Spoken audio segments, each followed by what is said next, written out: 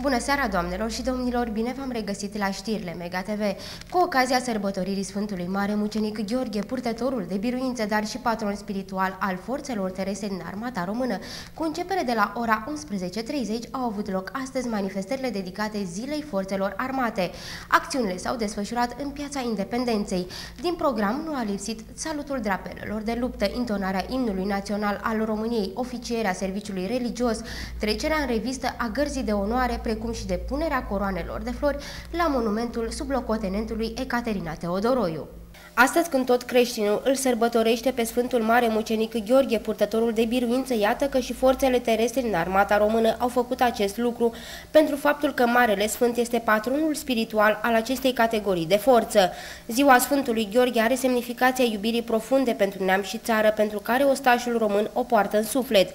Ziua forțelor terestre române aduce în memoria tuturor prin semnificația istorică faptele de arme ale ostașilor români, amintirea eroilor căzuți la datorie de-a lungul timpului pentru apărarea ființei naționale și a gliei strămoșești, pentru libertatea și siguranța noastră a tuturor. Cu acest prilej, pe platoul din fața Palatului Administrativ s-au aflat oficialități locale, printre care prefectul județului Brăila, Valsilica Vâlcu, locțiitorul comandantului garnizoanei Brăila și brigăzii 10 genul Dunărea de Jos, colonel Gheorghe Soare, primarul municipiului Brăila, Aurel Simionescu, dar și militarii unităților garnizoanei Brăila, o parte dintre aceștia participând în misiunile din teatrele de operații din Afganistan, Irak și Balcani. Din program nu a lipsit întâmpinarea colonelului Gheorghe Soare, salutul drapelelor, de luptă și trecerea în revistă a gărzii de onoare, intonarea imnului național al României, oficierea serviciului religios, prezentarea mesajului Ministrului Apărării Naționale, defilarea gărzii de onoare și a fanfarei militare, depunerea coroanelor de flori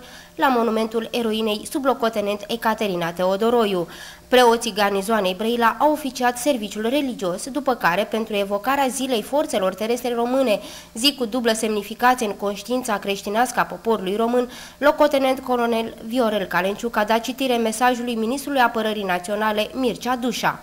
Sărbătoarea Sfântului Mare Mucenic Gheorghe, purtătorul de biruință, patronul spiritual al forțelor terestre, constituie un prilej deosebit pentru rememorarea și cinstirea faptelor de arme ale militarilor de toate gradele din forțele terestre, care au dat suprema jertfă pe câmpurile de luptă. Suntem onorați să le cinstim memoria și totodată să aducem omagiul nostru tuturor celor care au servit cu credință și onoare patria și poporul român. Eroismul și jertfa lor sunt pilde de urmat în demersurile noastre pentru constituirea prezentului și viitorului României. În calitate de țară membra a NATO, participăm împreună cu partenerii noștri din alianță la promovarea unor decizii politice și militare cu impact major asupra stabilității și securității internaționale, contribuind la reconstrucția politică, democratică, economică și socială a unor regiuni și țări, precum Balcanii de Vest și Afganistan. Doresc să evidențiez modul în care forțele terestre și-au asumat reformele care au permis să-și îndeplinească noile misiuni și să participe la acțiuni complexe în afara granițelor țării, în conformitate cu prevederile strategiei naționale privitoare la asigurarea securității României. Felul în care militarii forțelor terestre au înțeles să-și facă datoria în acord cu valorile și principiile unui sistem democratic a demonstrat că armata noastră are învergura și capacitatea de a face față noilor responsabilități alături de aliații și partenerii noștri. Standardele de performanță impuse în activitatea echipelor manageriale au fost atinse la toate nivelurile ierarhice, la comandamentele din forțele terestre și vin să confirme creșterea calității actului de comandă, fapt care ne dă certitudinea capacității acestora de a-și îndeplini misiunile ce le revin. Îmi exprim convingerea că forțele terestre ale armatei României își vor afirma din ce în ce mai pregnant personalitatea distinctă și se vor manifesta în orice situație ca o forță modernă, credibilă, pregătită și antrenată potrivit celor mai exigente standarde. Astăzi, în zi de mare sărbătoare creștină, când îl celebrăm pe Sfântul Mare Mucenic Gheorghe, purtătorul de biruință, transmit felicitări tuturor militarilor români aflați la datorie sub fadurile drapelului tricolor, acasă sau în locurile îndepărtate și întregului personal civil contractual. La mulți ani! semnează Ministrul Apărării Naționale Mircea Dușan. Colonelul Gheorghe Soare a luat și el cuvântul în fața militarilor, oficialităților locale și a mulțimii de brăileni aflați pe platoul din fața Palatului Administrativ. Acesta a precizat că mereu armata a dus lupte izbăvitoare, ostașii români fiind ocrotiți de Sfântul Gheorghe. La 23 aprilie sărbătorim ziua forțelor terestre, cărora le-a fost hărăzit onoarea de a avea drept patron spiritual creștinesc pe Sfântul Mare Mucenic Gheorghe, purtătorul de biruință.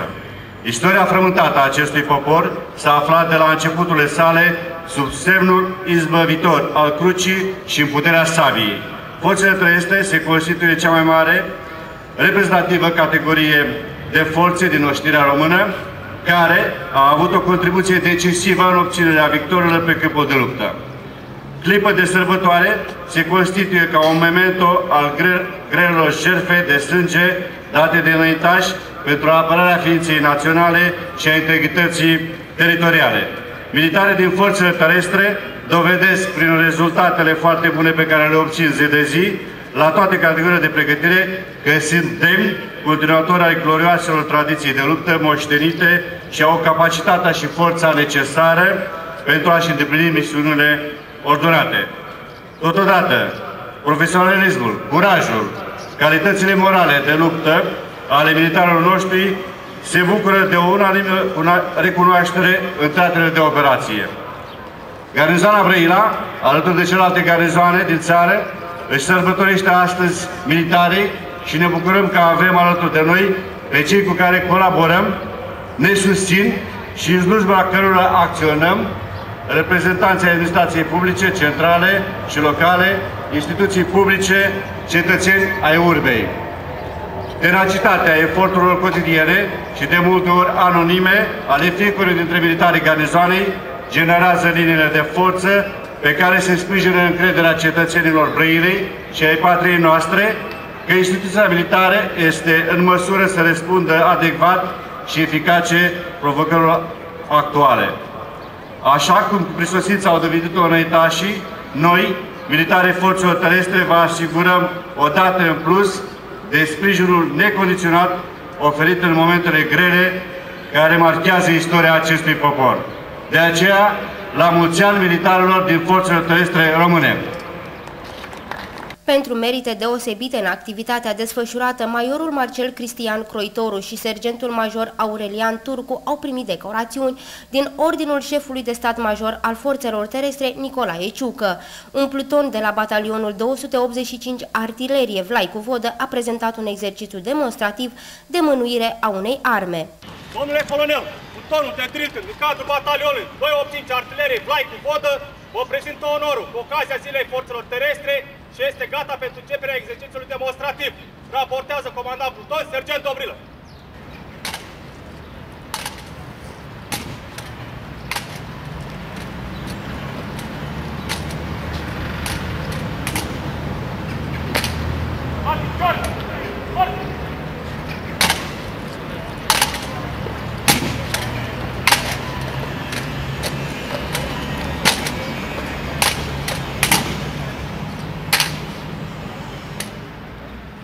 Prin fața oficialităților locale și cadrelor militare active în retragere și în rezervă prezente la eveniment, a defilat garda de onoare. Din dispozitivul de defilare au făcut parte efective militare, prezentând apelul de luptă, militare ai garnizoanei Brăila, batalionului 110 sprijin logistic Mareșal Constantin Prezan, batalionului 72 Geniu Matei Basarab, batalionului cercetare Vlad Țepeș, batalionului 285 Artilerie Vlai cu Vodă, batalionului nave treceri fluviale.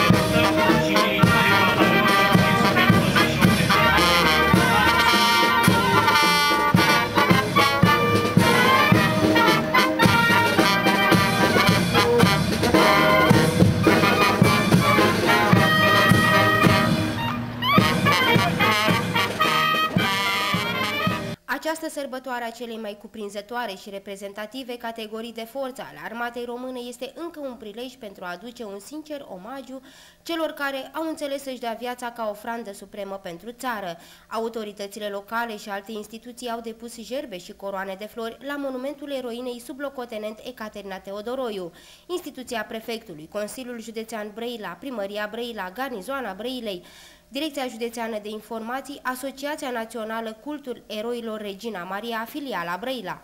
Numărul cazurilor de furt al capacelor de canalizare este în continuă creștere. Autoritățile locale susțin că, deși sunt puse altele în loc, cetățenii certați cu bunul simț continuă să le fure. Lipsa capacelor de la gurile de canalizare pot pune în pericol viața tuturor cetățenilor brăileni. Săptămâna trecută, primarul municipiului Brăila, Aurel Simionescu, a atras atenția că în ultimul timp numărul cazurilor de fur de capace de la gurile de canalizare s-au mulțit.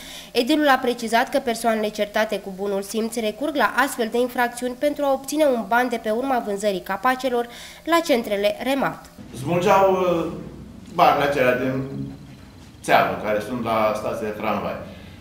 N-au reușit să facă mare lucru, strigăciunile nu sunt foarte mari, dar eu vorbesc despre atitudine și despre o modalitate de comportare. Ale nici la kilogram, dacă le, le vinzi, n-au ce să aibă, nu știu ce uh, rezultat financiar, să spunem așa. Iar ca să punem câte un polițist la fiecare colț, să alegăm mașinile poliției după fiecare individ care face astfel de lucruri, este o treabă imposibilă.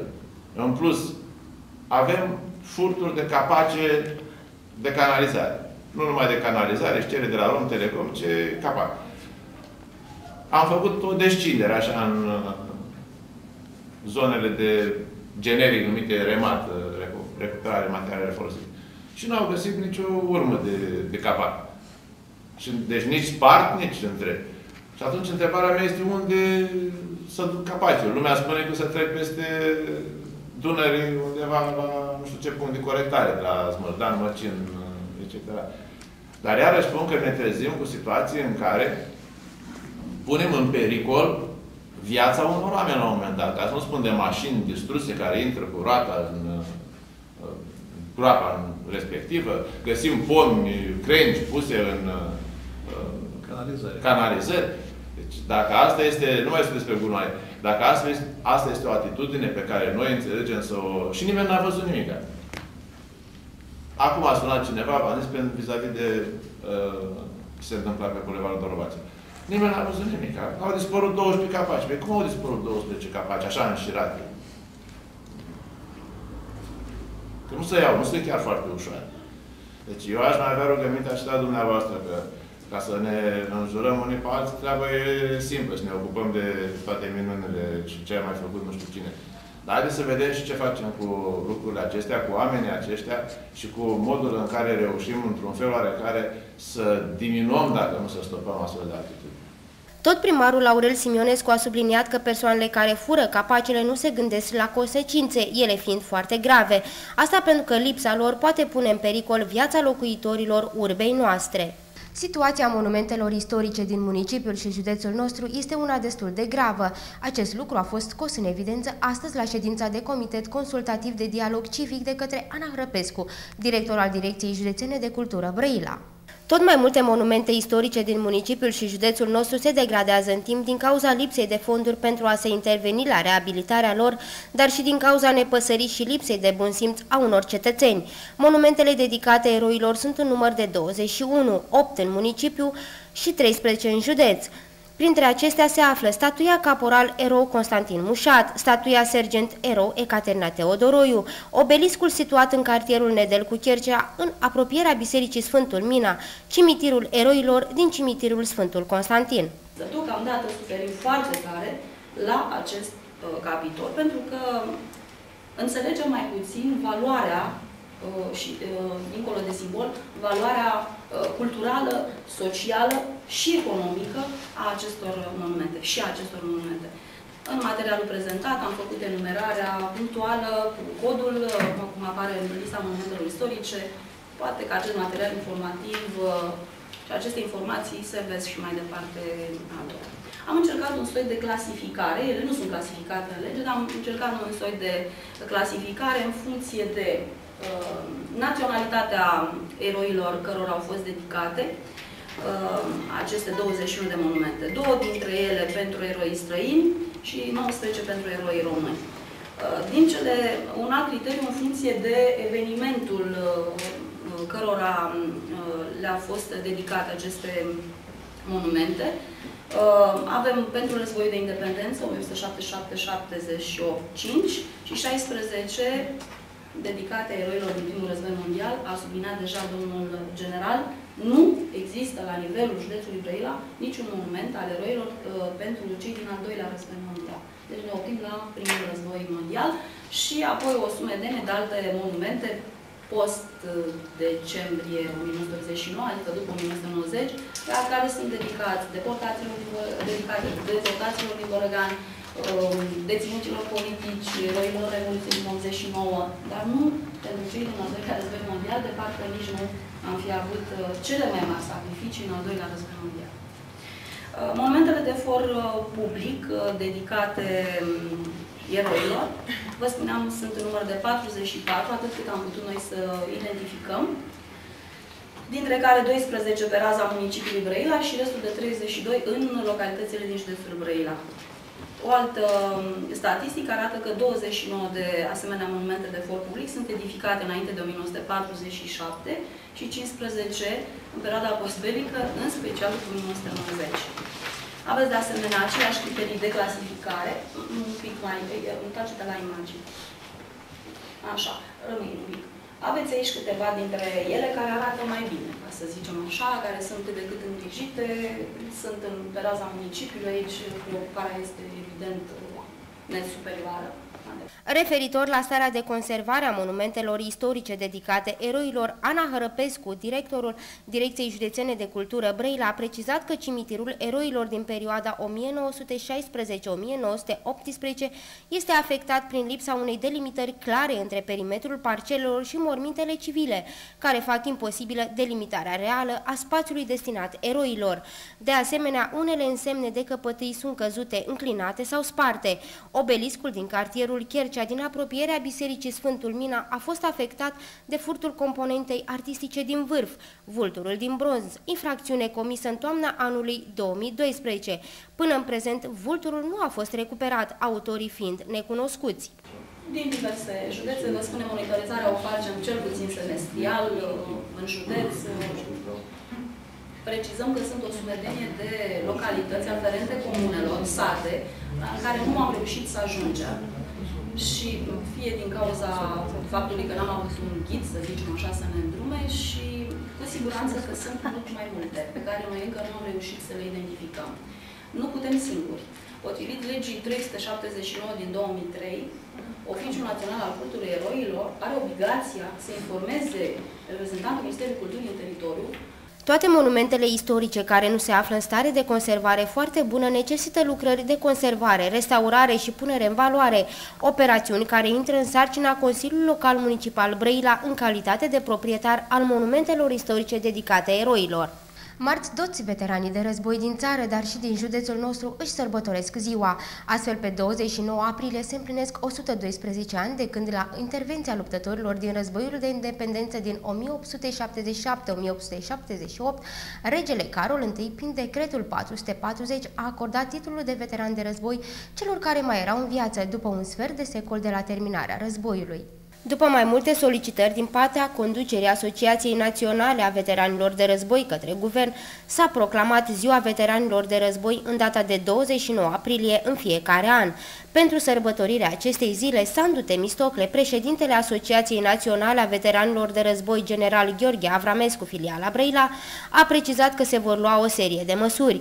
Printre acestea menționăm mărirea indemnizației veteranilor care din 2008 nu s-a mai mărit și care este cea mai mică sumă față de celelalte asociații din țară. S-a înaintat propunerea de avansare în grad pentru doi veterani și decorarea cu medalii a patru veterani. Pe data de 29 aprilie se organizează sărbătorirea Zilei Veteranilor de Război în localitatea Movila Miresi, unde vor participa veterani din localitățile Gemenele, Traian, Scorțaru, Râmnicelu, Romanu, Racovița, Tudor, Vladimirescu. Se împlinesc 112 ani de când la intervenția luptătorilor din război de independență în 1877-78, a intervenit pe lângă regele Carol I, deci nu a fost o donație a regelui sau nu știu cărui ministru sau nu știu cărui senator sau deputat.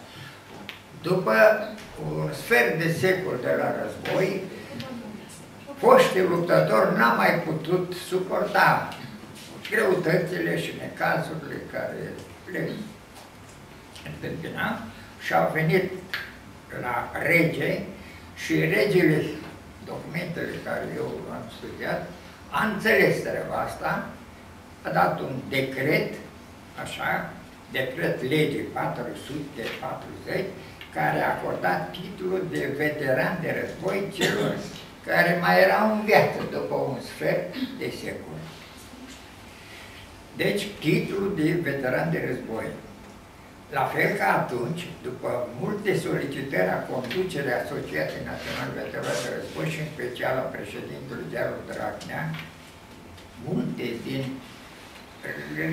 drepturile care le-a căpătat cei care au mai trăit, care au reușit să vină după front, văduvele de război, văduvele de veterani de război, uh, au uh, fost recunoscute, că nu era înainte, erau numai veterani de război, au fost recunoscute printr-o hotărâre de guvern 1226, care a fost aprobată de guvern, de parlament, prin legea 303 de 2007, în care s-a proclamat Ziua Veteranului de Război în data de 29, de marțea viitoare, ă, care se servează în fiecare an. Am citit ă, documentație și se spune acolo în documentația care a fost prezentată guvernului și la toate astea, Iarul Drag ne spunea, toți au câte o zi îndrăgostiți, nu mai vorbesc, nu?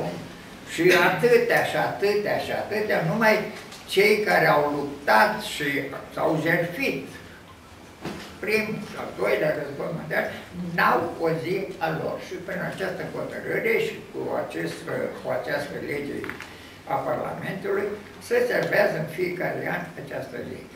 Sigur, noi, de câte mai reușim, noi sarcina noastră este să intervenim și să se asigure de către organele de stat, organele locale, prefect, primăria, comunile, să li se dea aceste drepturi care sunt prevăzute. În ultima parte a programului destinat Zilei Veteranilor de Război, membrii asociației din Brăila se vor deplasa la monumentul eroinei Ecaterina Teodoroiu, unde vor depune coroane de flori. ACS Viitorul în Surăței este lideră la finalul returului.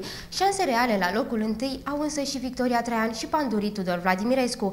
Astăzi, începând cu orele 17, au început turneele play-off și play-out.